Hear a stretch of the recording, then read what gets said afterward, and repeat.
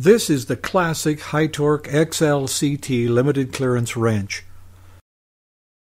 Modern industrial bolting demands power, accuracy, and versatility, all in a compact, rugged package. That's what you get with the XLCT.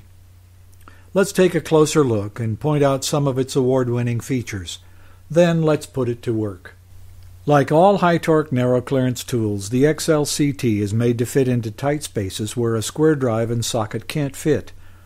Protruding studs? No problem, since the XLCT easily slips over the stud to engage the nut. The XLCT is made up of two parts, the power head with its hydraulic cylinder and hose connectors, and one of a range of interchangeable ratcheting socket links to fit the nut or bolt to be tightened. These exchangeable XLCT hex links can be quick connected to the power head tool-free in seconds. One of the outstanding features of this tool is its 360 by 360 degree hose swivel, which provides unequaled access in the most restricted spaces. A detachable safety handle adjusts to any position to keep the operator's hands out of danger.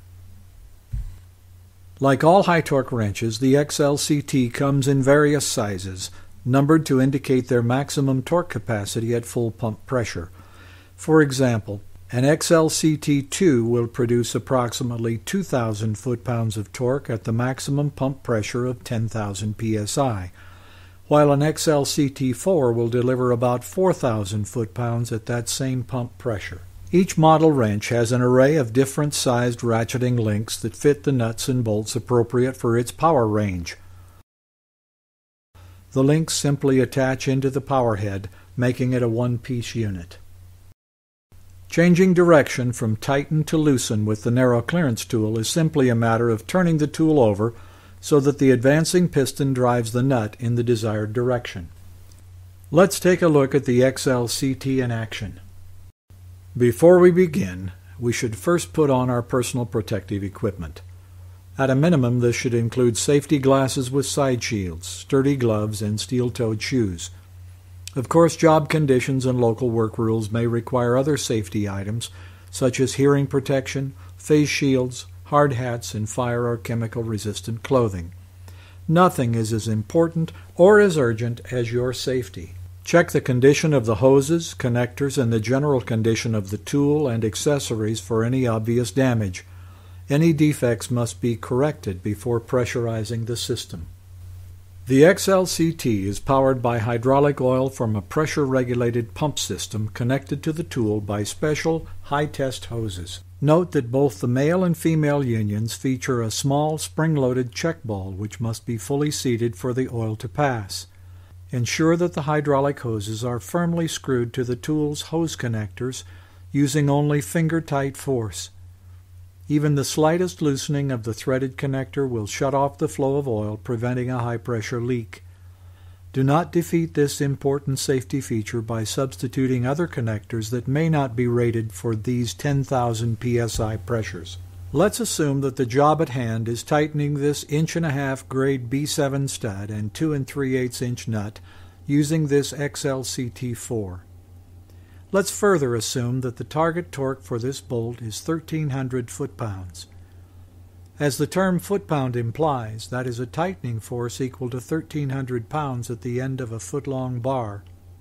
That's a lot of torque. Since the output torque of the tool is set by regulating the pump pressure, we must consult a pressure torque conversion chart for the specific tool we are using, in this case the XLCT4. Reading down the foot-pound column, we find 1309, which is very close to our target. Moving across to the left column, we find the corresponding pressure setting is 3400 psi. You can interpolate the values if your target number is not shown exactly. The chart also allows you to convert torque in kilogram meters or newton meters to psi or to pressure in bar if needed. Often bolts are required to be tightened in increments rather than all at once. This is done by simply choosing a lower pressure corresponding to the percentage of final torque desired on each pass. Reset the pressure in stages until the final value is reached. But for our demonstration we will simply tighten to the target torque without any intermediate steps. With the pump set at 3400 psi, we are ready to go to work. A 2 and 3 8 inch ratcheting hex link should be attached to the XLCT4 power head, and the safety handle should be attached.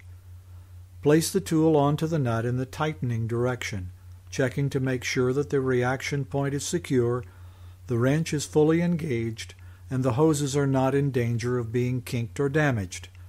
It's a good idea to bump the control button before starting to tighten, just to check how the wrench will react under pressure. By pressing and releasing the pump remote control, ratchet the wrench until it stalls at the preset pressure and the nut will no longer turn. Be patient on the last few strokes as the socket will move very slowly. If in doubt, always try another stroke. Remove and reposition the wrench on the next nut to be tightened and proceed with your bolting plan. When removing a nut or bolt, we are not concerned with an exact torque value, only that our tool has sufficient power to break it loose. Turn the pressure on the pump to at or near maximum, giving the wrench its full power. Reverse the direction of the XLCT by simply turning it over so that when the piston advances it will turn the nut in a counterclockwise direction. Fit the wrench, once again checking the reaction point and the hoses for proper position. Bump the button and observe the wrench to make sure it is secure. Press and hold the actuator button until the nut moves counterclockwise. Continue to loosen until it can be removed by hand. If the nut will not move at 10,000 psi, you will need a larger wrench with more power. So there you have it the XLCT limited clearance hydraulic torque machine, a proven winner in tight space bolting. Please ask your local HYTORC representative to demonstrate the XLCT on your applications and let you appreciate its advantages.